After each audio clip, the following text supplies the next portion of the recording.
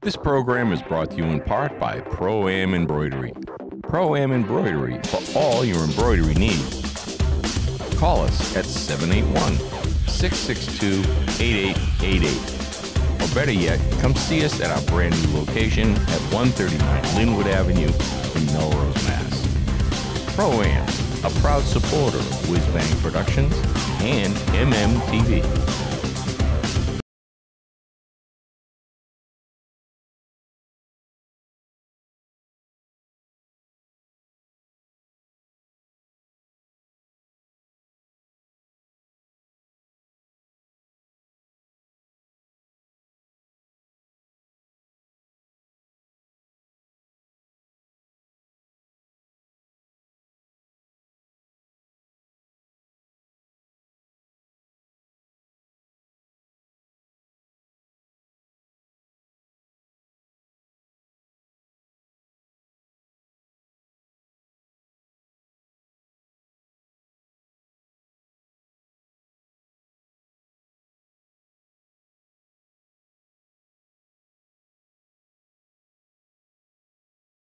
In Brookline, Mass. It's a beautiful place. It's, it has everything you'd want for a car show, and it happens to be one of the beautiful lawn events. This time is for the English cars, uh, it, it, and I'm, I'm just can't wait to see what has arrived here to show. They usually approach uh, the, the, the, highest quality of cars that you can ever expect to see at an auto show. Now, this is going to be all British cars, British makes, uh, and probably maybe some kit cars. I don't know, but I haven't seen the the, the, the field yet. But I'm, I'm I'm guarantee you that it's going to be something to see, something to watch, and I can't wait to get started. So let's see what we've got.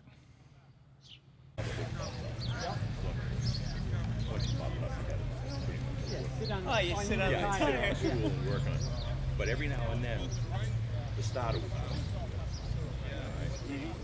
So it had a loop to start. Well, they're fixed for that, but apparently it must have been a problem. Because this morning is with somebody that's we had a car that was really kind of close to my heart, uh, but I had his little brother.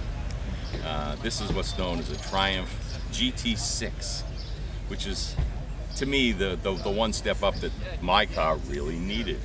And the owner is Spencer Gooder. And Spence. How long how long have you owned this vehicle? I actually uh, bought it eight years ago. I had it in storage for six years.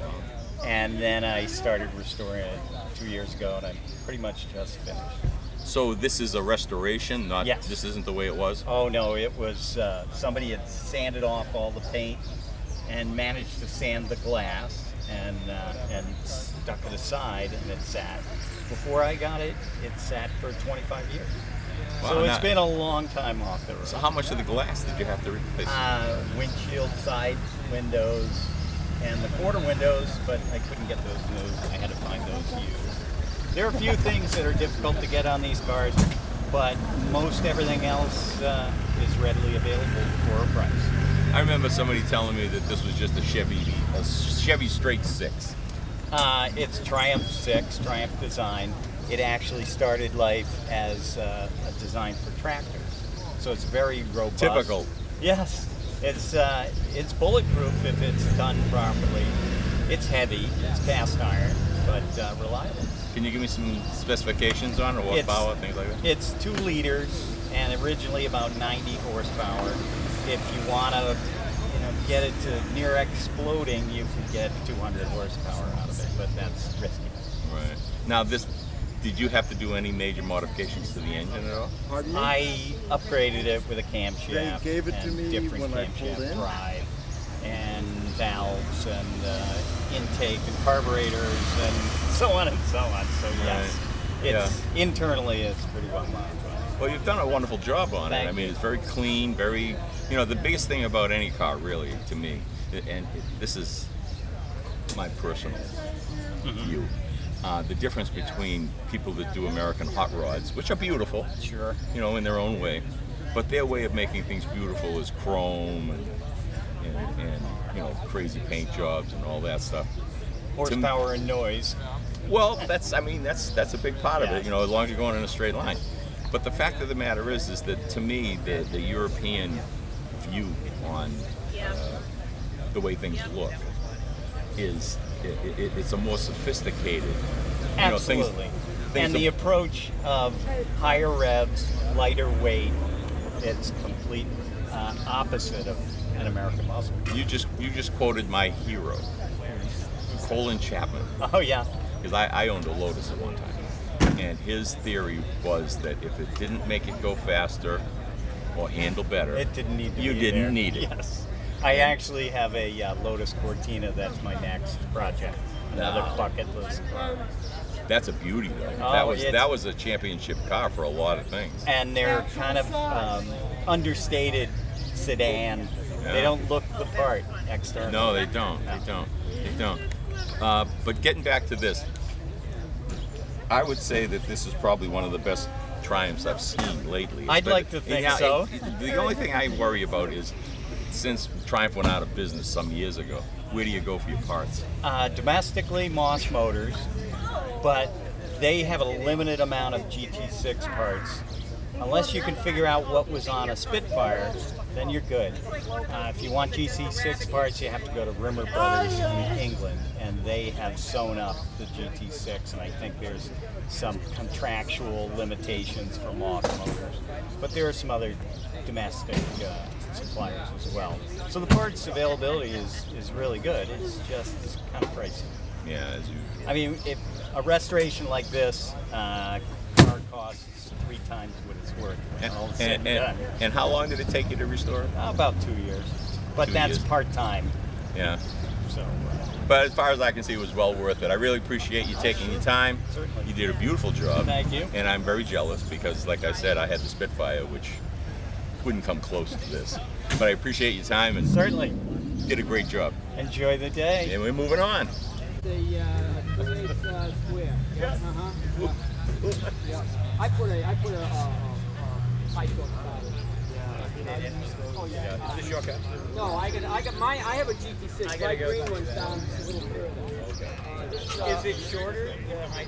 We're going from. all do that. Well, I don't know. I- This is this this is this is a, another car that's pretty close to my heart because I always loved minis. Corners of the window. Uh, and the owner of this vehicle is Wendy Birchmeyer.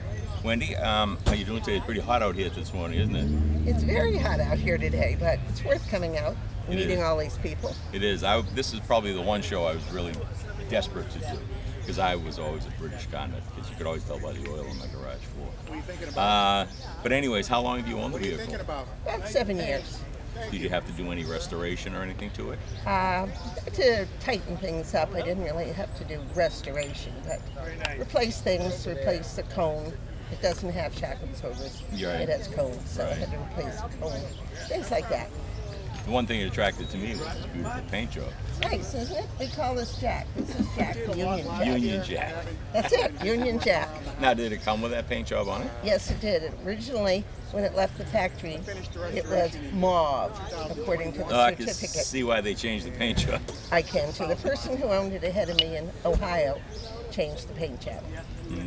Well, I mean, can you give me some statistics? on I mean, I noticed one thing that it's right-hand drive. Well, that's the way the Winnings paint, right-hand drive. Well, I've seen them left-hand, but if, if it's really English, it's It's right. got to be the authentic looking. Exactly, exactly. Now, do you have any trouble driving it that way? Not at all. You mean on the right-hand side? Well, uh, my, my thing was shifting. No, but I have another one in it. It's automatic, so the levers are on the other side. So like this morning when I went to put on the direction, I put on the windshield wiper. That's what happens all the time. It's which which side has which. It, it takes a little brain power to switch it over.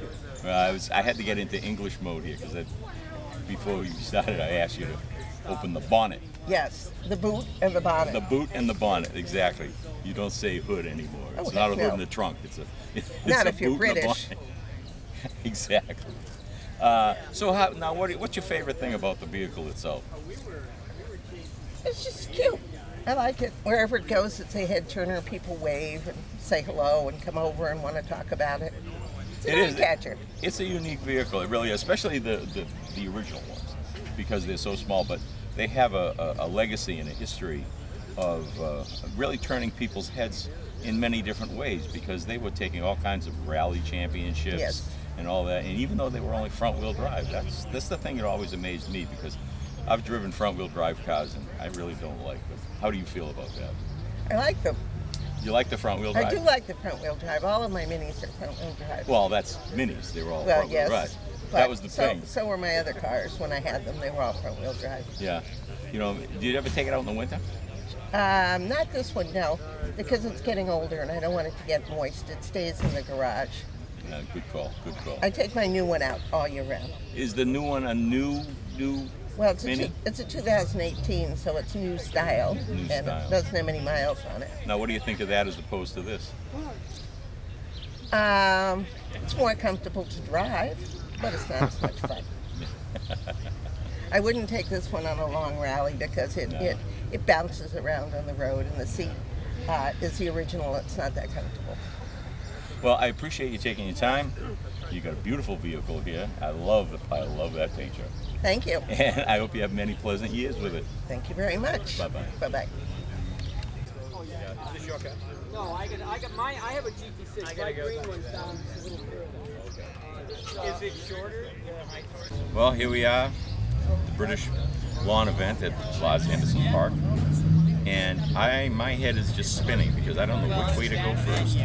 Uh, I, every, everywhere I turn, I see something that I would probably do whatever I could to get one on my own. Uh, and this is this is probably one of them. Uh, and this is a, Uh, 1953 MGTF. and you are the owner. That is correct. And your name? My name is Frank Cronin. Okay, Frank. Uh, now, how long have you owned this vehicle?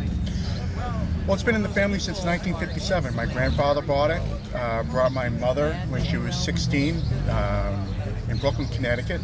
We saw an ad in Rhode Island, and uh, they went together to go pick it up so my mother could drive the family sedan back to the farm in Brooklyn. Um, my grandfather, he repainted it in the mid 60s. In 1971, uh, he gave the car to my mother. And down here, you can see a picture of me. That's my mom. I'm sorry. I don't want to get Bill again. That's me down there. I'm about three years old right there. That's my dad and my Uncle Donnie. Um, You know, I want to interrupt, but this is something that um, when I first started being interested in British cars, one of the big things that I noticed is what they called a family car. Now, family car didn't mean something you drove everybody around in. A family car meant that it was a car that you passed on from father to son to grandson to, Sure. to that kind of thing. So that was a, so right there you've proven my point as far Yeah. as that goes. This is a this is a family car. absolutely. Um, my grandfather, he collected uh, a lot of vintage cars. I think his he loved British iron. His main thing he loved is he had a 1927 Rolls Royce uh, Phantom. Um, anyway, to make a long story short, he loved this car. Uh, given it to me, I can remember going to the Chelmsford Drive-In, sitting in the boot. How I can, looking at it now, I don't know how I got in there. Um, but it's a fun car to drive. Uh, Now, me- now, how much restoration did you have to do to it? Okay, the whole the total time took us uh, 10 years. Um, I worked with Pat Michael at Performance Auto. Um, I was working full time at the time, but every time I had a vacation, worked solid on a week, uh, four or five weeks during the summer, and got it to the paint. So the only thing I didn't do on the car is I didn't paint it, I didn't do the engine, and I do, didn't do the seats. Once everything was all painted, I assembled everything in a barn, How about some general specifications as far as the engine goes? What do you get for horsepower on this? It's a 1250. Uh, I think it probably gets about 57 horsepower. But it gets it to the road pretty easily. Yeah, you gotta. It's it's a high revving car. You shipped it at 35, 4,000. Yeah. So Yeah. it likes it. Well, it's a beauty.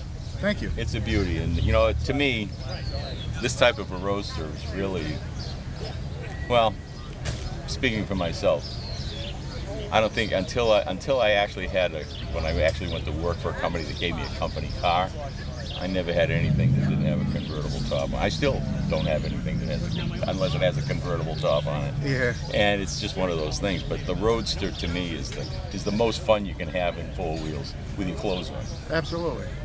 Absolutely. Well, I appreciate your time. It's a beautiful car, Thank you. and we'll get some footage of it, and hopefully we'll. Try to keep cool. Yeah, that's a that's going to be a chore today.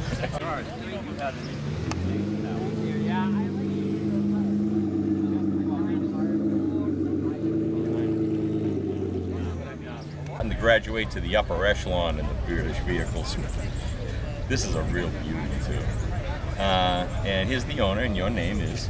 Fred Hammerly, And this beautiful example is a Jaguar XK140 MC, which stands for special equipment. It's got the high horsepower motor in it.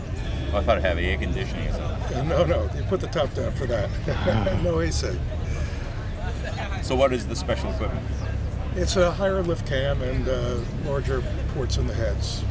And it's called the C-type cylinder head. It makes 210 horsepower. Doesn't sound like a lot by today's standards, Oh, but, in those days. but in 1955, that was a lot of horsepower. All right, and it, and it gets it to the road really good. Right. Yeah, the one thing about the Jaguars is that they're just beautiful vehicles. The, the guy that invented, or not invented, but I remember the story about when they came up with the E-Type. The E-Type was supposed to be at a show, and I guess they missed it or something. So the guy that designed it got one, drove it to the show, mm-hmm. and they sold like 200 of them that day. That's the case. Absolutely. But they all started with these vehicles, and, and I think I think my favorite is the D.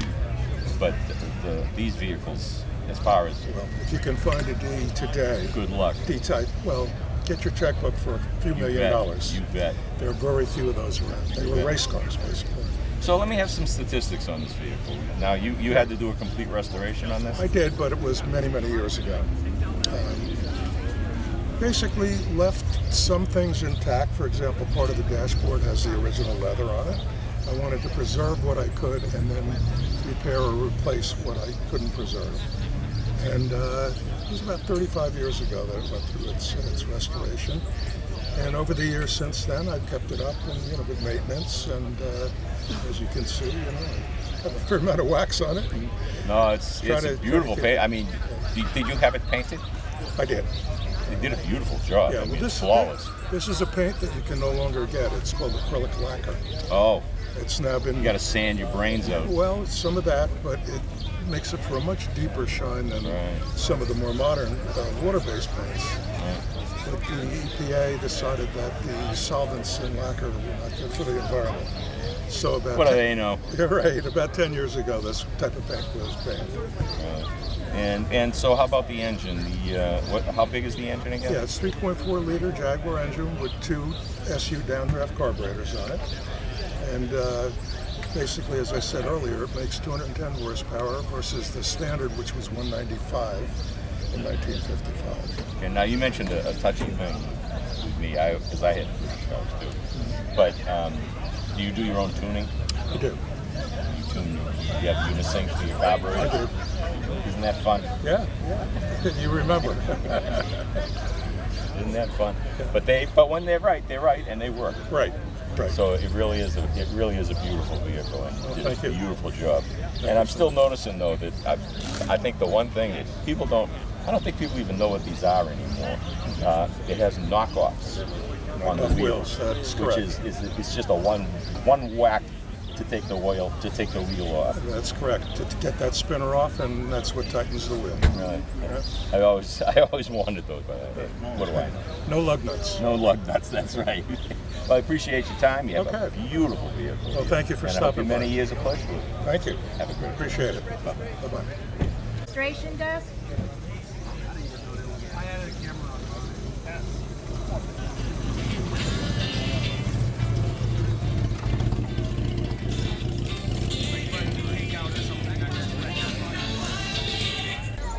Uh, these are Lotuses, which I was a former which I'm going to grab someone I just saw roll.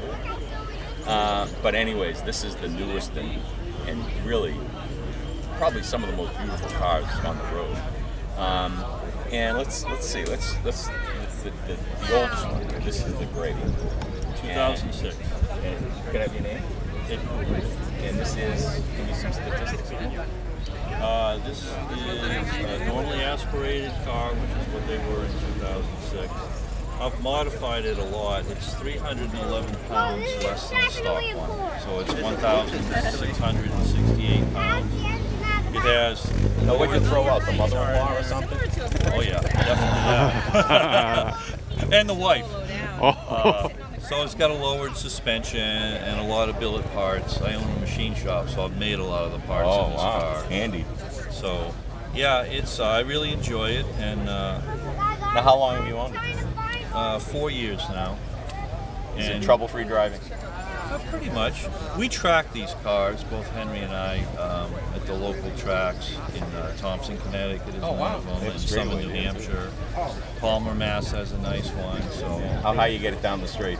Uh, me, I'm only about 115 or so. He's a little higher because he's got a bunch of horsepower. So I let him go by. They're beautiful cars, though. So a lot of fun. So moving right along here, now we have the red car. Nobody has. Doesn't anybody buy green cars? actually connected to the roof. The roof. Uh, as much as that is a Lotus color, no, I've never It's had a, functional green Lotus. That's what mine. Mine was BRG. Yep, there you go. And so yours is a, and your name is. I'm Henry Fisher, and this is a 2010 S260 Sport uh, Lotus.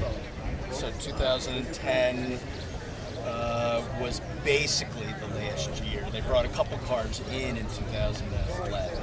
This car is only one of 29 that we brought into the United States. This is the number one out of four in our logo. Wow. Now, it, it came with the, the turbocharger. Super. Oh, even better. Yeah, so even it's better. just- So you get it from zero. It's the same 1.8 Toyota motor, but they slap a supercharger on it and some fancy software, and you go from about 195 horse. This was stock at about 260. Now, let me ask you this: Do you, do you do your own tuning? Well, I don't do any software tuning. I do all my own work on my car. But if it came to software tuning, no, I've utilized the shop out of Kansas City. Because the one thing I'm the one thing I'm going to ask the person down here that has the Elan is uh, I used to do all my own tuning, and the biggest problem was getting at the distributor. Now I'm sure this has solid state ignition. So I mean, it, it- and being it's a it's a Toyota engine, it's probably pretty trouble free. Yeah, as Ed was saying, I mean, that was probably the most brilliant move that Lotus ever did. Lotus had done work for Toyota, I believe, on suspension tuning work in the early 70s. And Lotus came back to them in the late 90s and said, hey, we want your motors. And they kind of put up a little bit of a fight initially, and then they finally agreed. And as Ed said, I mean, it's a bulletproof platform. Right. It is super reliable. It's very inexpensive to maintain. Oh, that's you know that's a relative thing. It, it really, from a from the drivetrain standpoint, Right. It really is because Right. they just don't break. And you can buy, you know, an oil back in here filter for for, six bucks. Now, all right. These cars, like I, we just we were discussing here with the Toyota engine. Um, when they had, are there any similarities between these engines and the old Cosworths that used to be like mine had the Cosworth twin, twin carb, um, twin cam, cross flow head, all that. Um, are there any similarities? Because you know what my hero, Colin Chapman's theory was that if it didn't make it go faster or handle better, you didn't need it. So what do you think on it? Does, does, it, does hold true to his? Uh, I would say so. I mean, they didn't they didn't waste any uh, any time doing silly things that are heavy or anything like that. But it's not an exotic engine. The only thing that's different, it's variable valve timing, and it also actually has two cams, two sets of cam lobes. So when you hit somewhere between five and six thousand RPM, it goes to what we call the high cam, which is a longer duration, higher lift, and you get a big horsepower boost. So is it on the same cam? Is it a variable timing? It actually has a split rocker arm. One part of the rocker arm is on one cam lobe, and the other is on the floating on the other, and then a pin locks it at high RPM, and it goes on the big cam. It's an unusual mechanism. I now is, is yours the same way? Same one. Yeah. Exactly. And, and part of so the software that I had written for my car cars had said the original stock transition was 6,200 RPMs, which many guys feel is just a little too high. So mine was brought down 1,000 RPMs to 5,200 RPMs. My little 1600cc was 7,000. Well, I'm not talking about red line. I'm, Oh. talking, I'm not talking about red line. I'm talking about cam trans. Oh, cam. Oh, okay. No, okay, these cars okay. red line at 8,500. Yeah, I was just RPM. going to say, I can't Yeah. believe that they'd be that slow, that low. It's cam transition. Right. Well, I'm jealous of you guys. All right. I'm jealous, jealous, jealous, jealous, jealous, jealous. But I appreciate you taking the time. They're beautiful vehicles, and uh, if one of them becomes missing, you know where to find it. We'll look Uh, for you. All right. very so I much for your appreciate your time. time and have a great day. Thank you. Hopefully.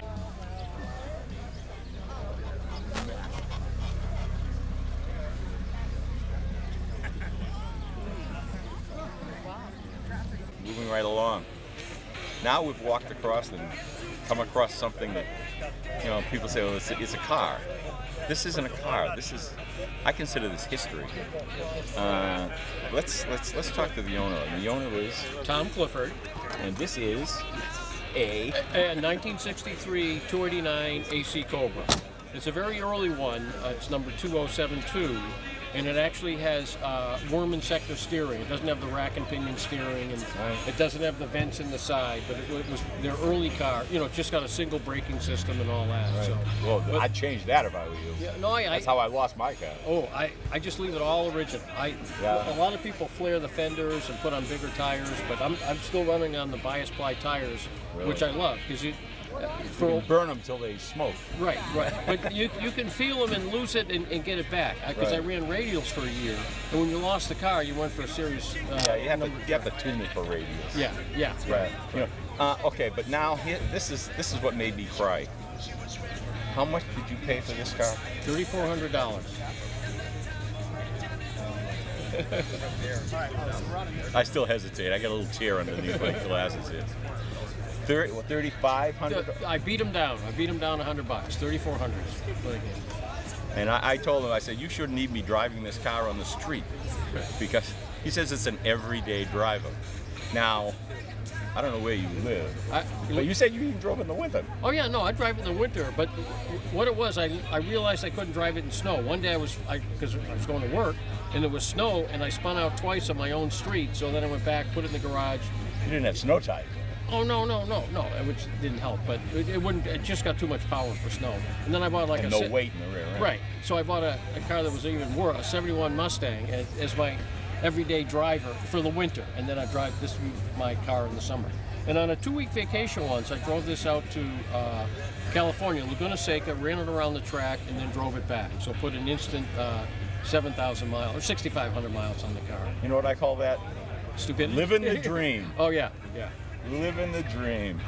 I don't know. I, you know what? I, I, I, I, I had no. I'm really lost for words on this guy because it's something that you you often see because so many you know people make the manufacturers uh, Right. The, this is there's more replicas of this than any other car in the world. Exactly. You know. yeah. That's why when I walked up to it, the first thing I did was put my hand under the Yeah. under the wheel well To- to, to- see if it was aluminum. aluminum. And the first Yeah. thing you said to me was, "Don't lean against it." Right. Right. Why? Because it'll dent. I mean, it's really pa- paper thin. It's light, lightweight car. so- Exactly. Exactly. Well, hey, I appreciate you taking your time. Very good. Nice to meet And it's a beautiful car, Yeah. and I still think you should put it in a vault. No, no, I, you, you got to use them. And I don't cover it. Like at night, I've got a couple cars in the garage. I just like to go out and look at it. You take the garbage out, you just you could What stand do there I What do I have to do to get in your will? a, couple of people. One guy, if I don't give him this when I when I'm gone, is gonna dig me up and uh, do something bad to me. Well, I'll already be dead. So. yeah, really, who cares? I appreciate your time. Very Have a good. good day. Thank you very much. You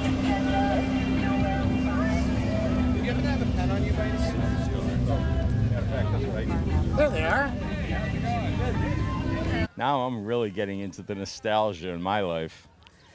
Uh, we're out with another Lotus, but this one is near and dear to my heart because I actually owned a model like this. Only mine was a little older than this.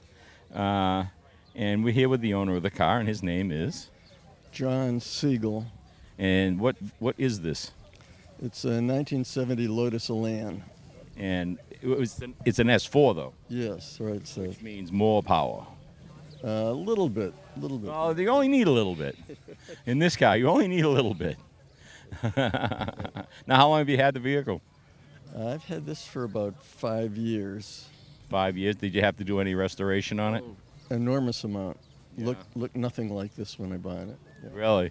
I mean, they do. I mean, that's one of the things I know, at least in my experience, you had to like to work on cars if you owned one of these. Oh yeah, I love it. That's what I do. Well, we, we were discussing my, my major sticking point was trying to get at the distributor. And uh, you told me a few things, but this, this has a solid state ignition, so you don't have to adjust points the way I did, which was a major chore. But once and then you go to an electronic ignition. exactly, they didn't have them when I bought it. But anyways, this have you have you repl- have to replace the, the vacuum balls on the lights? Well, actually, I removed the vacuum on the lights. I put an electric motor to run the lights. Smart move. Right.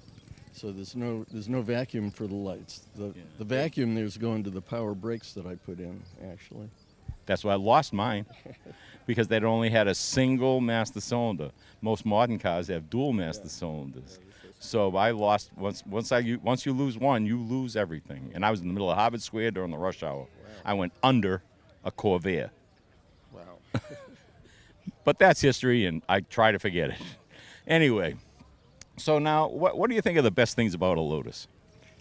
Uh, well, it handles beautifully, uh, and it's and it's quick because it's so light. It's all fiberglass. Exactly. Have you had to try and change one of those Rotoflex units on the rear end? I removed them actually. I put a I put a um, CV joint half shafts in, so it's So you've made all the correct changes as far as I'm concerned so far. So far, all the things I thought, my God, how would they design this like this? You've done, you've made the correct changes, and I, I, I really commend you on that. Uh, you know, I, I mean, it, it's to me, uh, the engine was the most beautiful part of the whole car. Yeah, the Uh, nice. Now, y- y- you figure how many horsepower you figure you get out of this? Uh, you know, I don't know. I'm guessing maybe 120 to 130, probably max. That's doing good though. Well, the car's very light. Yeah. Well, that's what I mean. H- Yeah. How much you figure this weighs? Car weighs about 1,500 pounds. Yeah, I was. I w- a- actually mine was a little heavy, but anyways, I like I say I commend you on your changes because they're the ones. Those are the things that used to drive me nuts. Uh, was was was those those few things, and they all went. Right. So you had to change them. But I appreciate you taking the time. It's a beautiful car, and if you find it missing by the end of the show, uh, don't come looking for me. Thank you very much. All right. Have a great show. Bye bye. These fantastic lawn events. And if you're hungry, Hunterham Grill, the food is ready. That's really good. Make your way on over there. They also have water. Please stay hydrated. We don't want anybody passing out today. So continue to enjoy and have a wonderful day. All right, as usual, here at the Larz Anderson Lawn events, I can always be assured to come up with the, the most unusual and unique vehicles that I can find. And I come across one that is probably, I don't know if even people even know what this is. Um, but it is a, 1974 TVR 2500M. and you're the owner, Yes. your name. Oh, Chris Gibbons. That's, you know. It's, an, it's incidental. It doesn't matter. now, how long have you had the car? Uh, six years. Six years. Yeah. Did you have to do? You had to do a lot of restoration, I hear. To the body. I did the restoration to the body because there was a crack developed and we found a lot underneath. So I begrudgingly did it. Yeah. Okay. We re- reglassed the entire car. We took away every single right angle around there so there wouldn't be any more cracking. Um, and we found that, that when it was made from the factory, it wasn't symmetrical at all. So we straightened a lot of the body out uh, and a lot of the errors that were happening from the factory, which was really funny. Yeah, I, sometimes British cars. I remember when somebody told me once that if you if, if you don't see oil on the floor, you're out of oil. That's probably true for this car.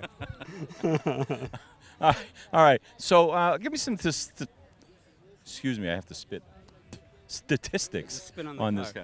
Yeah. Uh, so it's a four point. for luck. Yeah, thank you. It's a 4.3 liter uh, V6, um, and it has a uh, Nissan 300Z differential in the back.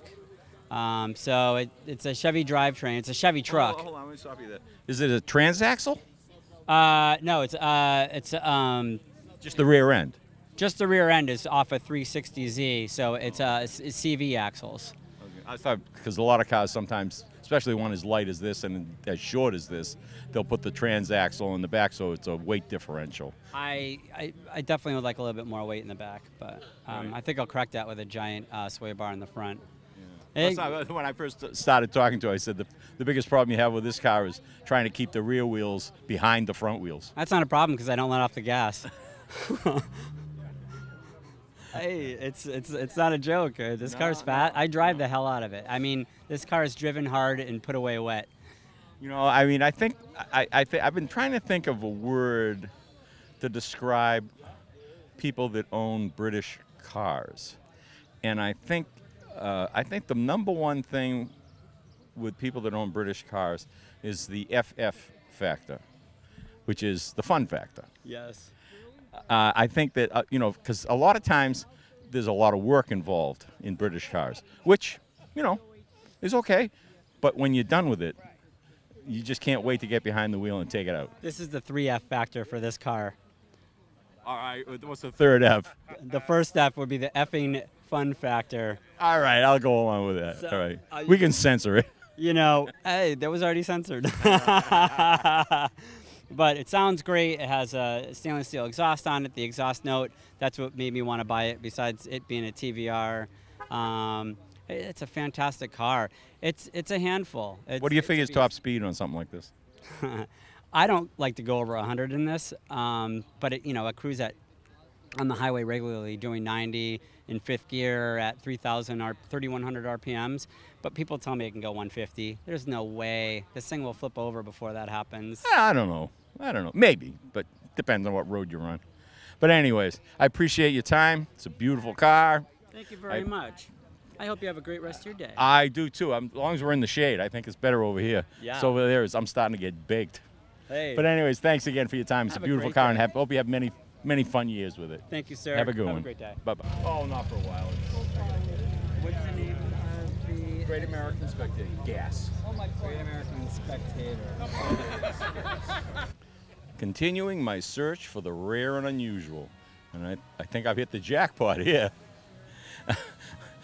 we were walking by this, and I didn't know whether it was somebody's bicycle or what, but uh, turns out it wasn't. It is a 1903 Dickinson Morette, made in Birmingham, England.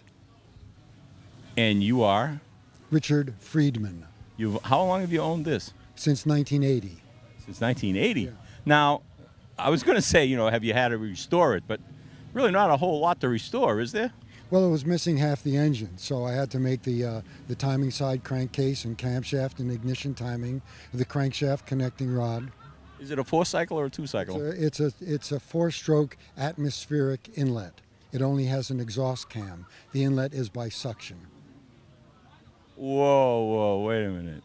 Typical British. How does that work? Well, it has a very weak spring on the inlet valve, so when the piston comes down, it pulls the inlet valve open and allows the mixture to pass. You, you, got, you, you got me That- speechless here. That was common on stationary engines. Because, Really? Yeah, because to make make a set, they they needed to manufacture an exhaust cam, which cost money, but to also make an inlet cam cost money also. So it was cheaper to just have a suction operated inlet, which is fine for a slow running engine. Okay. But uh, but for a high speed engine, you need a stronger spring on the valve, and therefore it won't work on uh, by suction. Now, how do you start it? You spin the flywheel by hand. I love this thing already. But I notice, I mean, it's such a basic machine. I mean, it's chain drive, flywheel, and the brakes. I don't know. Uh, do you, have you ever changed the belts? The, the brakes are belts. Well, they they were originally leather lined on a flat pulley, and I replaced them with uh, a woven asbestos lining, and they're over effective. I you know I don't need all the braking capacity that they supply. So you lock up the rear wheels a lot? Yeah, Well, they, they bring me to a stop. Of course, when you're going a few miles an hour, coming to a stop isn't that much of a problem. And not to be, you know, a few miles an hour is probably all you can really do in this thing, isn't it? I did hit 15 a few years ago, going down a slight ingra- uh, slight grade, but I think I can do better. With the wind behind you? Well, down down a slight grade. I love this thing. But I mean, it's it's it's such a basic thing of machinery. It almost reminds me of the early Benz, uh, with the, the instead of having a steering wheel, you have a tiller, uh, you know, all that kind of stuff. I mean, it's really uh, such a basic machine that I'm surprised there weren't more. I mean, did they sell a lot of these in its day? This was a failure of a design. This may the, be the, the there was probably only a handful manufactured, and this I believe is the only existing one. Now, is that a is would you consider that a regular bicycle tire? That is a modern cruiser tire. The original, I have pieces of the original tire casing. Uh, all the all the natural rubber has rotted away, so it's just canvas wrapping on a wire base. Really? Um, but they were they did have pneumatic tires um, made out of unvulcanized rubber, which turned out to be white. Really? Yeah. Well, you know, it's, you know, I think so far in today, uh, this takes the prize for the most unique uh, that I've come across. Uh, when I saw this, I, I wasn't even sure what it was at mm. first. Mm. But when I came over and I saw you here and I started talking to you, it really piqued my interest. So I really appreciate your time. Okay. It's a beautiful piece of machinery. Thanks very and much. And I hope you keep it for a long, long time. I will. Take care. Okay. Yeah.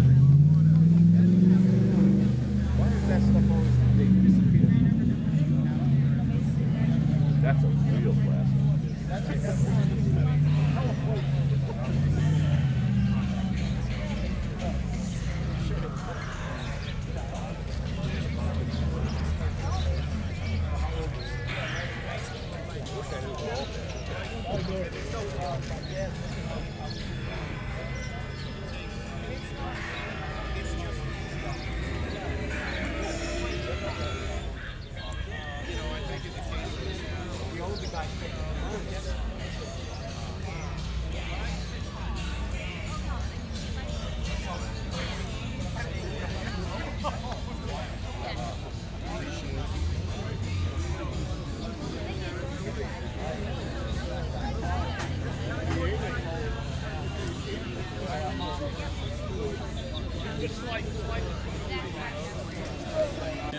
real is season for Lotus. Sort of. I guess. I don't know. I'm not sure. But it's still, I still love these things. And uh, we have two that I, I think they're basic, basically uh, originally were a kit car called a Lotus 7. But now they've become so popular that aftermarkets have started making them. Um, and let's see, let's start with this one here. Your name is? Anchor Bergson. And what is this? Uh, this is a 1987 uh, Caterham 1700 Super Sprint. Okay, so it's a Caterham. Yeah, it's a Caterham because what happened was Lotus decided to s- sell the rights to Right. the Seven, Right. and they sold it to their main dealer, Okay. who was C- Caterham Motor Cars. Okay. And they started. They, they got all the all the manufacturing uh, equipment and all the parts, and they built them, and they still build them. This was not a kit, though. Well, you can buy them as a kit. Right. But you you can also buy them as a fully assembled car. Okay. okay. Uh, in the U.S., I don't think you can register a fully assembled car. What so what you do is you buy the kit without the engine, then you source the engine from somewhere else, and then you can register. That's kind of the beauty of them, really, because you can put whatever engine you want in. it. Yes, as long as it fits. Exactly, exactly. So we have another example over here, Uh-huh. and your name is? I'm Olivier Aries. And what is this? So it's a uh, 1992 Caterham uh, Super Sprint. It actually has the same engine as anchors. And what's the engine in this? So it's a Ford source engine, uh, 1.7 liter. Uh, we call uh, Ford Crossflow. And mine It has a crossflow head on it? It, it does, yes. Oh, performance. And, uh, well, yeah, it's about 135 horsepower. It's enough. So considering that the car is barely a thousand pound heavy, Yeah, that's, yeah, uh, it's yeah, pretty, that's the beauty of pretty them. good ratio. And uh, this one is very, very basic. It's what they used to call the classic model, only four-speed gearbox, and I have a live axle.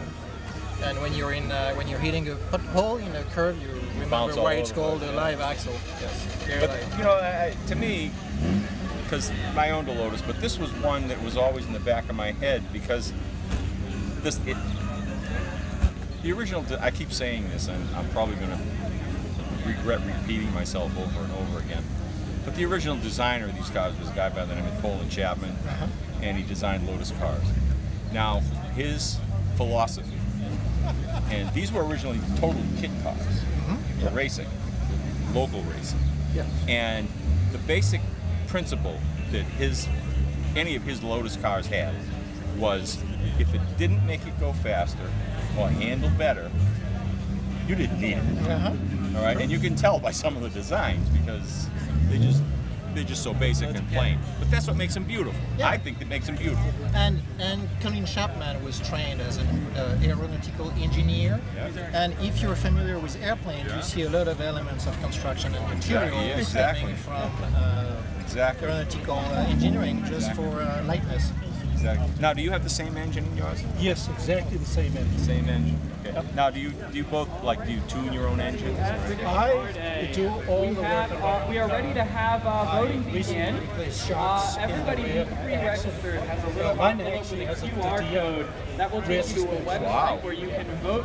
How is that for, to uh, work on? Uh, different class No trouble at all. It's just torsion bars, right? Uh, no, no, it's, it actually has. It's a pivot point. QR code here Well, it, to vote this is unique in that it actually has All a right, the voting will close Right. at about 12:30. So take holds the most of the, the next axle hour and Right. 45 minutes to make right. your decision and vote for the best and in how- show. what does this one? Thank you, everybody. So the uh, live stay axle, so hydrated. it's a much, it's a most basic So you have a solid rear of axle. suspension, solid rear axle.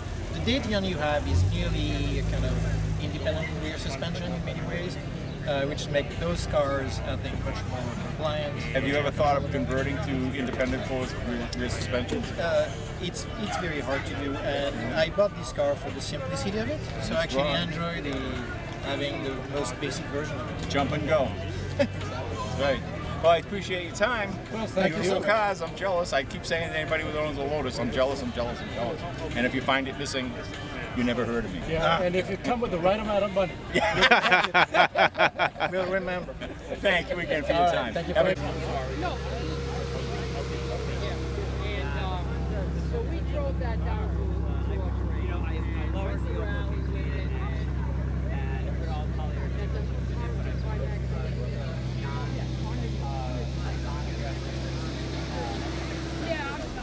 No problem, no problem, no problem. This is what I like about this. I could go Rolling, rolling, rolling. I'm going to be rolling on out of here pretty soon if I don't get out of this heat. It's, it's a smoker here today. But speaking of smoking, this little beauty beside me must smoke them up really good. Uh, and it is a Aston Martin DB11. DB11. DB11. Okay, and you are the owner. Your name is Owner. My name is Barry Breen. Barry. Now, how long have you have you, have you had this vehicle? I've had this vehicle three years. It's my third Aston Martin. Uh, my original one was a Vantage. Then I moved to the Rapide, which is a four-door 12-cylinder, and I bought this in 2019. You're looking to adopt? Not really. Not really. Can't afford child support. No, I, I mean, you know, I- this this is a beautiful car. I mean, that's one thing. I, you know, I've been to German shows and the Italian shows. The Italians do make beautiful cars. They do make beautiful cars. But when it comes to craftsmanship, somehow the English just have a, that little bit more, a little bit more, uh, uh, you know, attention to detail. I have to show you one thing that I, I think most people don't realize, but these stainless steel roof strakes, uh, people look at them and say, boy, that's a really nice feature. They think it's an accent. It's actually part of the aerodynamic design. Really? It Doesn't ta- move, does it? No, it doesn't move. It takes in air here. Oh, and okay. then out through the back, spoiler. Uh, that's good for speeds under 100 miles So an the hour. spoiler comes up. Uh, after 100 miles an hour, that spoiler comes up about eight inches and gives you And some, that takes what additional- about three seconds? uh, no, it takes a while. But um, when they designed this car, they knew it was going to be a very fast car, and they were worried about the stability. So they thought about a whale tail. That didn't last very Yeah, long. they're ugly on a car like and this. they came up with this design, and they were actually to maintain the lines of the car. And it's, uh, I think it's a really Detail, detail, detail. Oh, it's a it's a impressive thing when you first see the car strikes out. You can get these roof strakes in body color, stainless steel, or gloss black. Really nice. You know, it's funny. I uh, speaking of detail, detail, detail. Something I I'm a I'm a follower of Formula One, and I don't know how many people actually know this, but almost I'd say more than half of your Formula One teams are located in England. Oh yeah, yeah. You know, Lotus and You McLaren, and No, even. Mercedes has Yeah, a yeah, has a factory there. yeah, yeah. You know, and I- often wonder why, but I'm assuming it's because of the workmanship that's available there. yeah, probably. You know, it probably is something like that. The engineering and they're all everything. hand built. They're all hand assembled. Right, right. Still, you know. Now let me have some. What, what, what what's the engine in this? This is a, a V8. Uh, it's got twin turbocharged uh, engine, so it's a little over 500 horsepower. Wow. Zero to 60 in three seconds and some change. Very quick. It's a beautiful vehicle, absolutely beautiful. Well, I appreciate you taking some Thank time you. with me. Very nice. And uh, good luck with it. Best of luck with it. And if you're ever I mean, at night, what's this? What's this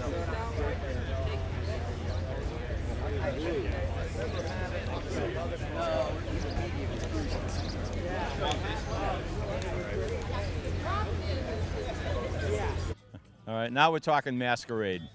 When I first saw this roll in, I thought it was a Cobra at first, just at a quick glance. And then I thought maybe it was a Bristol. But now I walked over next to it, and of all things, it's a Triumph Spitfire. Now, it's a beautiful little car. And there's nothing against Spitfires because they were a beautiful little car. And the owner is? My name is Adam Schmalsley. All right, Adam. Now, uh, what is this technically? Uh, this is sort of a Frankenstein version of a Triumph Spitfire. It's a 1971 MK4. Okay. Now, um, I was we were talking about one of the shortcomings. Did you change that, or is it still like that? Uh, did I change the, the, starter? Uh, the starter is actually the same starter I uh, had in the car when I originally found it. Believe it or not, I found this car in the junkyard. It was getting ready to be crushed, and I wanted to give it a second chance. I bought it in 2014. Uh, they actually sold it as individual parts. So the door had a receipt, the trunk had a receipt, the tires had receipts. Really? And then I managed to get my hands on the title, and this is where it is today. So. Wow. You know, I I mean, they're they're a fairly simple car, and with the bonnet up the way it is now, working on the engine is pretty pretty easy. I, I can attest to that fact. Yeah, it's Uh, nice. You can sit on the tires and Exactly. you know. Uh, exactly. yeah. Yeah. Exactly. But I mean, it's it's it, it's a fun car to drive and it's a fun car to own. Um, as far as if you like to work on cars, you know, I mean, they do sometimes. You know, not all, not all, but because it really it depends on you and how you keep up with it. Yeah. You know, you, you do have to keep up with it. But you know, the old. I got to laugh out of this every time I've said it so far. The, if you don't see oil on the floor, Oh yeah. it means you're out of oil. Yeah.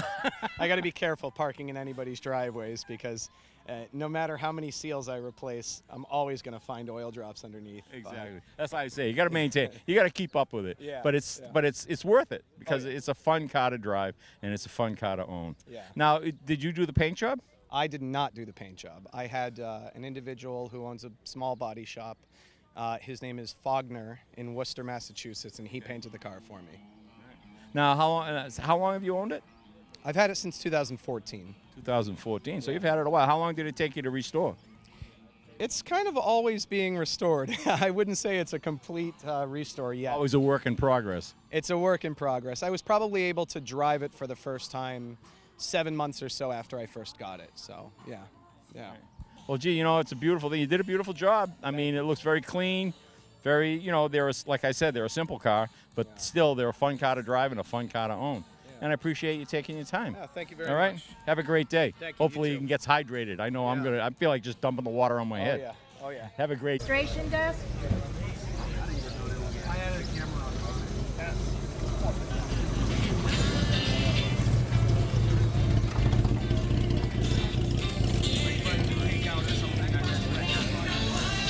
All right, it's time for Get Smart.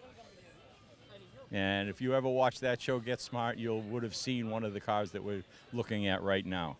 And it is a 1965 Sunbeam Tiger. Sunbeam Tiger. Pretty fast car. It- They had a little sister called the Alpine, but this is a completely different car. And uh, your name is? Ralph Trepanier. Now, how long have you owned this? About four years now. Four years. I understand you had to do a little work on it when you got it. Yeah, I'd had a little bit of a crunch in the front from someone who wasn't able to stop in time. A unique problem in English cars, probably, I guess. I don't know. That's how I lost my car. One of my English cars was no brakes. But, anyways, um, so you had to, is that the only amount of restoration you had to do? Yeah, it was just basically getting the front sheet metal to look right again. And um, um, it took about a year to put it together because there's no aftermarket parts for the bodywork on these cars. Right. Because nothing is actually replaceable. The whole body's welded together on this car. Unibody type thing. But it's not bolted together. No. It's all full seam welded. Right, okay. So once the body's put together, it's not made to come apart again. Right. Well, it kind of makes it stronger, too, considering. Probably does. Yeah, right, exactly. So now, um, this has a 260, is it a Ford engine? It's a Ford engine, yeah, 260 V8. Apparently, the deal that I heard was that when Shelby American was convincing AC to run the 289s in it, the AC group had a problem with Shelby encouraging 289s for these cars. So Ford agreed to sell the 260 V8s, which they were phasing out, and gave them a deal on, Right. on lots of them. So you lucked out with the 260. Actually, 260 isn't a bad engine. It's a nice engine. It's um, fast enough for that car. Without a doubt, without a doubt. So now, uh, so once you got it all restored and everything, uh, have you had any other issues with it at all? Well, everything was great until today. We won't go into that. Yeah. no, the car's been rock solid, runs cool. If you understand air management to get the engine to stay cool, they work fine. Yeah. I think a lot of the historical info on these cars is that people just didn't understand how to handle these things. That's the same with all British cars, though, I think. Well, anyways, it's a beautiful little car. Uh, I think you're going to have lots of fun with it. I appreciate your time. Appreciate And have a great day. Try and stay out of the sun. I love it. Hit the shade.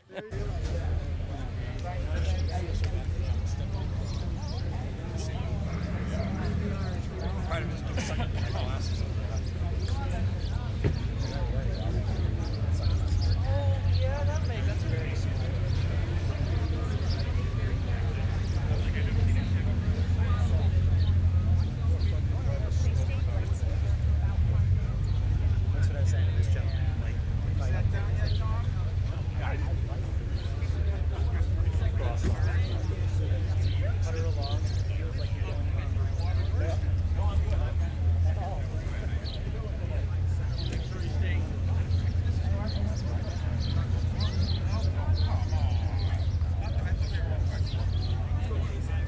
We were at the upper end of the echelon with the Aston Martins, but I think we've hit the pinnacle here. Uh, just what we were on our way out, and we just happened to run across this bad boy, and it is a This is a 1930 Rolls Royce, a 2025 horsepower. The body is made by a French bodybuilder named Kellner, K-E-L-L-N-E-R, and the under the chassis, engine, electric, all of that is original Rolls Royce. Now you hit on something that is back in the day it was common, but cars like this were, for instance, I don't know if the Rolls Royce actually built their own bodies at any time. They did. But most of them were done by separate coach builders. coach builder, Brewster in New York, was very uh, popular in America. Kellner, Rolls Royce had several captive coach builders in England. And so the, uh, the uh, coach building was really an industry of itself. A Right. carry forward from the carriage industry. Right, exactly, exactly. Speaking of horse-drawn carriages, when Henry Ford created the mass production, he used as a model carriage building in Amesbury, Massachusetts. Really? Which today is known as the Detroit of carriages. Because they mass produced all different kinds of carriages, sold them in boxes to Sears Roebuck, who turned distributed all over the country. That's why I love these shows. You learn- I, no, I, I have yet to come to one of these shows where I don't learn something new, Well, something I never, I never one of the thought one of. of the fun parts about this car, yes, it's fun to drive, and yes, it's unique.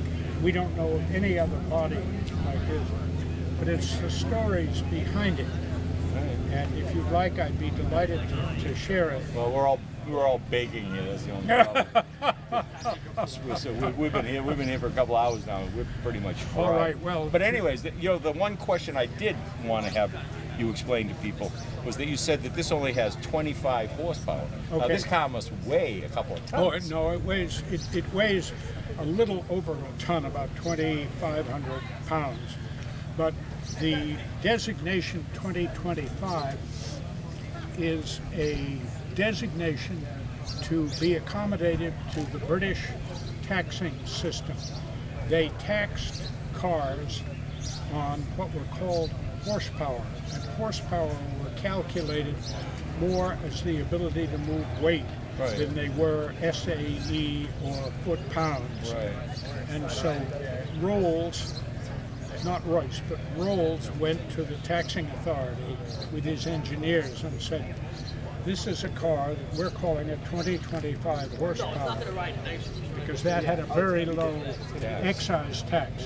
Whereas the cars that in fact had 70, 80, 100 horsepower and Rhodes built them, a much higher tax. But this was a 2025 because of the way that it was classified by the taxing authorities. Had nothing to do with, with foot Actual pounds. horsepower, yeah. Nothing to do with It's foot interesting. pounds. Now, there's something else that you, you, you just hit on. That, is this a Rolls or a Rolls Royce? Well, it, it is a Rolls Royce, but Rolls Royce was a company formed by two people, Mr. Right. Rolls and Mr. Royce. Right. Right. That's why I was just. I don't know how many people actually know that fact. Right. You know, it's. They it's- need to come to shows like this and learn. That's why I'm here. Good for you. That's why I'm here. But, you know what? It's a beautiful.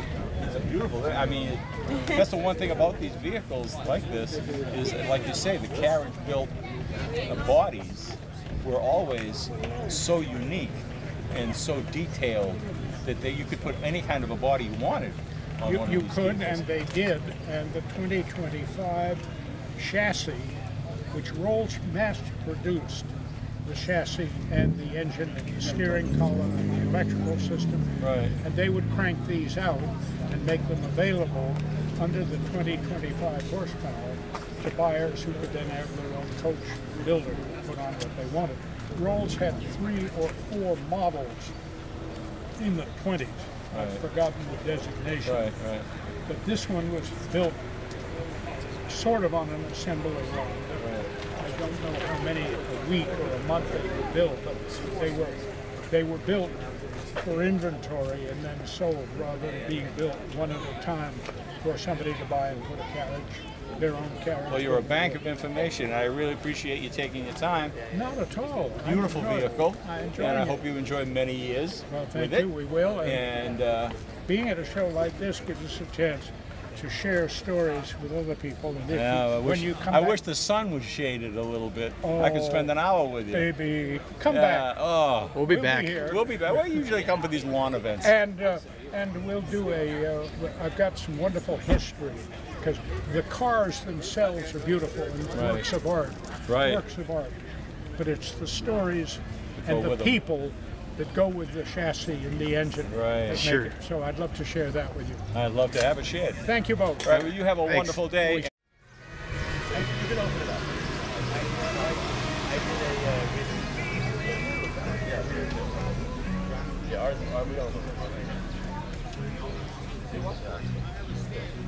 All right, so um,